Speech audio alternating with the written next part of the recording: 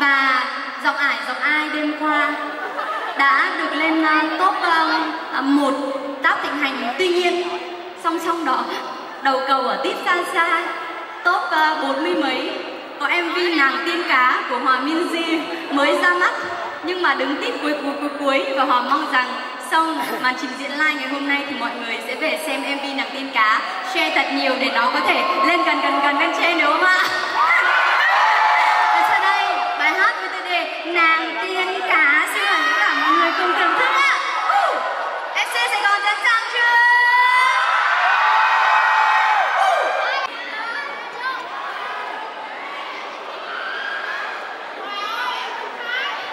Thank you.